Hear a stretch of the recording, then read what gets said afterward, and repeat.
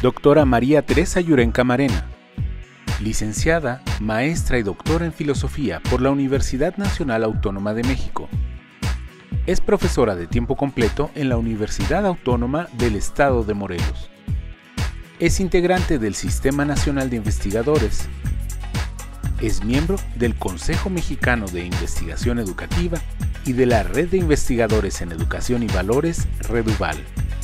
Sus líneas de investigación son formación sociomoral, valores y diversidad, procesos y dispositivos de formación convencionales y no convencionales, y saberes y filosofía en el campo educativo. Formación sociomoral y eticidad dignificante desde una posición dialéctica.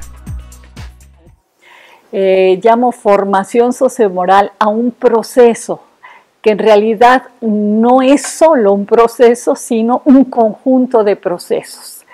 Eh, el, sujeto, todo sujeto, toda persona eh, se desarrolla en un ámbito de eticidad, como, como ya lo hemos comentado. Eh, al desarrollarse en ese ámbito de eticidad, esa persona es socializada y enculturada en un ámbito de valores. ¿Qué significa esto de ser socializado? Bueno, que es incorporado a ciertas instituciones que tienen normas, que tienen valores, y el sujeto se va incorporando de manera casi natural a esas instituciones mediante esos procesos de socialización, el sujeto socializado y el sujeto también es enculturado, se le enseñan, por ejemplo, códigos de conducta, se le enseñan eh, eh, tesis o teorías en torno a lo que es bueno, por ejemplo, ¿no? Y entonces es enculturado y socializado a la vez. De esa manera el sujeto va configurando su personalidad y podríamos decir en este caso su personalidad social, porque eso que aprende le permite moverse en el ámbito de la sociedad.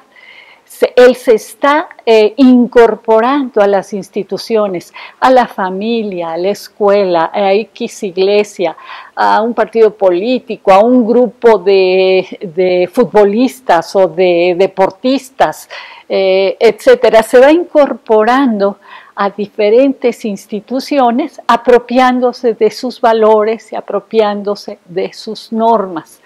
Bueno, esa ese proceso de socialización y enculturación es un proceso que todos vivimos, no hay un sujeto, no hay una persona eh, que esté eh, ajena a esos procesos, todos pasamos por esos procesos. Pero después viene el asunto de la moralidad. Si solo tenemos sujetos socializados y enculturados, ¿Qué hacen esos sujetos cuando los valores entran en conflicto? Y entran en conflicto con mucha facilidad. ¿no? Cuando, eh, por ejemplo, está el asunto de eh, qué vamos a preferir, si salvar a 50 personas o salvar a una porque es muy importante. cosas así por el estilo. Hay múltiples ejemplos de conflictos de valores. Cuando los, hay conflicto de valores, no basta la socialización y la inculturación. El sujeto tiene que tomar decisiones y esas decisiones tiene que tomarlas en función de criterios de justicia que él se va forjando, que la persona se va forjando. Hay muchos estudios desde la sociología, desde la psicología, perdón, muchos estudios que muestran cómo se van eh, adquiriendo distintos criterios de justicia a lo largo del proceso de vida de una persona. Y, eh, por ejemplo, eh, Habermas retoma los estudios de Kohlberg, un psicólogo piagetiano eh, que desarrolló toda una teoría en torno a los juicios de valor, a los juicios morales, entonces Habermas lo retoma para hablar de eh, la manera en la que la, acción comunicativa tiene incidencia en esos procesos de toma de conciencia y toma de juicio, de decisiones en torno a los valores y a las normas. Entonces tenemos esos tres procesos, socialización, enculturación y moralización, que no significa inculcar valores, no significa inculcar normas, significa ayudar a los niños y jóvenes a construir sus propios principios morales y a determinar criterios de justicia y procedimientos de juicio. Hay procedimientos de juicio que algunos filósofos este, ya eh, establecen, por ejemplo, eh, Rousseau hablaba de eh, acallar las pasiones para escuchar la voz de la conciencia. Bueno, esa es, es, una forma. Habermas se refiere al discurso práctico, bueno, pongámonos en la mesa a conversar con quienes van a sufrir las consecuencias de los actos que queremos realizar y entonces veremos si están de acuerdo o no y, buscaremos un, consenso, un juicio que nos permita integrar los puntos de vista distintos. Chantal Mouffe le llamaría eh, consenso eh, en consenso, en desacuerdo, ¿no? Porque ahí eh, tenemos a personas que no están del todo de acuerdo, sin embargo, en relación con los valores puede llegar a haber algún acuerdo. Bueno, entonces tenemos eh, esos, esos procedimientos que son muy interesantes. El procedimiento más clásico que yo creo que eh, pues es lo más difundido que es el imperativo categórico de Kant, ¿no? obra de tal manera que la máxima de tu acción pueda ser elevada a juicio de universal observancia.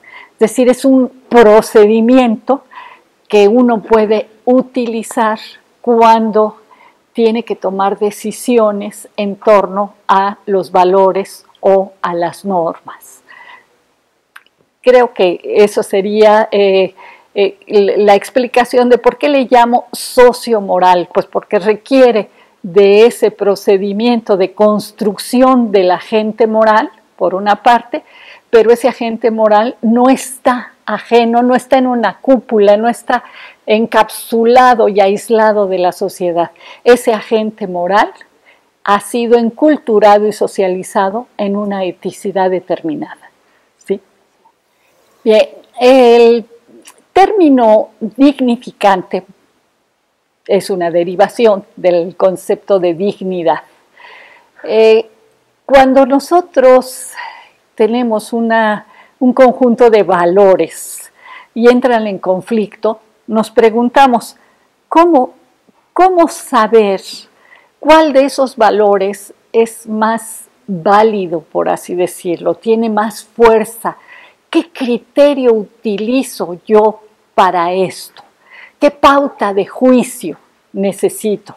Y entonces ahí viene el problema de qué construimos como pauta de juicio. Cada uno de nosotros construye sus propias pautas de juicio.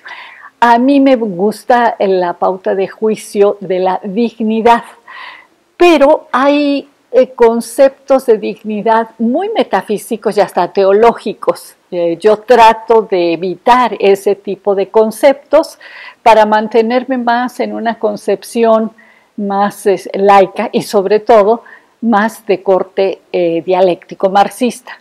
esa dignidad, el concepto de dignidad que yo he construido, lo he construido a partir de eh, la teoría de las necesidades de Agnes Helles, quien a su vez retoma eh, las necesidades que plantea el joven Marx en sus trabajos. Se trata no de eh, un conjunto de necesidades que estén en la esencia del ser humano, en una esencia inmutable, imperecedera, sino se trata de necesidades que eh, Heller le llama radicales, porque dice ella, están en la raíz de lo humano.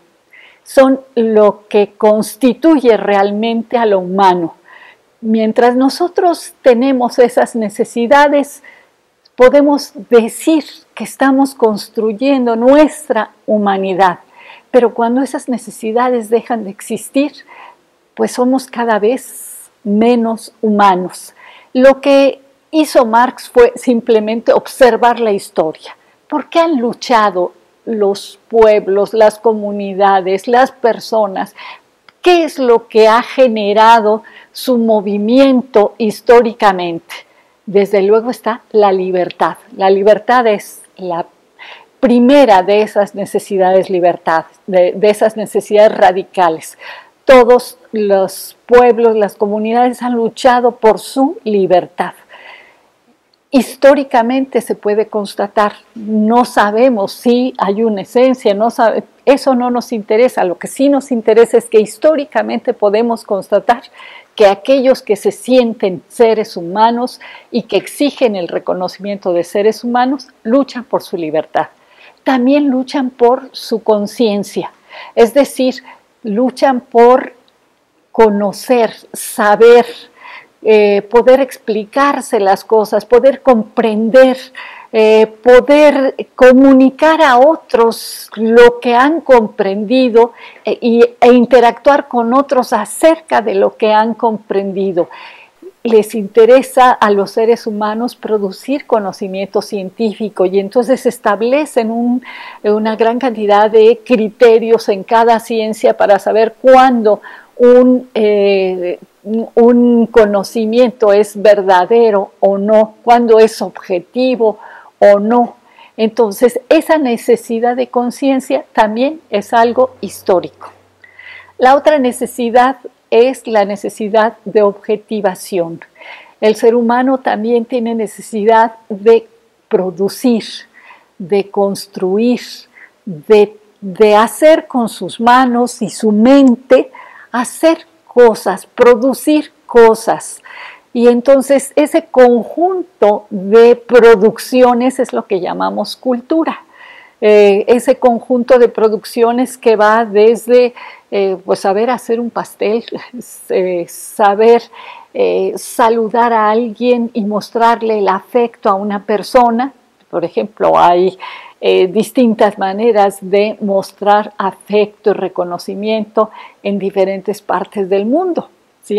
lo hemos visto, hay quien eh, da besos con la nariz, eh, hay quien da dos o tres besos, hay quien da abrazos, eh, en fin, hay, hay diferentes maneras de objetivar nuestro afecto. La producción artística es también objetivación. Entonces los seres humanos tenemos necesidad de objetivarnos con originalidad, de objetivar nuestra subjetividad. Así, por ejemplo, un obrero que está ensamblando piezas, la misma pieza durante años y años y años, no, no está objetivándose realmente, no está objetivando su subjetividad. Lo que está haciendo es ser la prolongación de una máquina. Y ese obrero ha de desear seguramente el fin de semana para poder hacer algo que quiere hacer, algo creativo, algo en lo que se siente, eh, eh, se siente realizado, se siente satisfecho. Entonces tenemos también necesidad de objetivación, tenemos necesidad de socialidad, es decir, de estar con otros, de eh, tener relaciones con otros, de amar a otros, de hablar con otros, por eso el castigo que se da a los presos que supuestamente se portan mal es meterlos a una celda y, e impedirles la interacción con otros, porque eso es terrible, el estar aislados. Entonces tenemos necesidad de socialidad. Y la última de las necesidades es la necesidad de universalidad, le llama eh, Heller, eh, que consiste más bien en la necesidad de reconocimiento, es decir, la necesidad de estar frente a otros sujetos, ser reconocido como sujeto y reconocer a otros como sujeto. Esto ya lo planteaba eh, Hegel en la dialéctica del amo y el esclavo, el asunto del reconocimiento, y el tema del reconocimiento ha sido retomado por diversos autores como Lukács, por ejemplo, y eh, de manera muy, muy detallada y muy interesante Axel Honneth, un discípulo de Habermas, Axel Honneth, en los últimos años del siglo pasado y los primeros de este siglo ha sido muy eh, prolífico en este trabajo del reconocimiento. También hay trabajo del reconocimiento en Riquet desde otra perspectiva un poco diferente, pero también muy interesante. Todo esto tiene que ver con esta otra necesidad radical. ¿Qué es la eticidad dignificante? Entonces, resumiendo, la eticidad dignificante consiste en procurar un ambiente de, eh, de valores y de normas que contribuyan a la satisfacción de necesidades radicales, pero de todas en conjunto, porque a veces, por ejemplo, alguien puede satisfacer su necesidad de conocimiento experimentando con seres humanos. Y entonces, bueno, ahí eh, se satisface una necesidad radical, pero se está violentando otra necesidad radical, que es la de reconocimiento. Por eso digo, la eticidad es dignificante, sí puede contribuir a eh, satisfacer las necesidades radicales en su conjunto, si no está violentando alguna de esas necesidades, si no está obstaculizando la satisfacción de alguna de esas necesidades.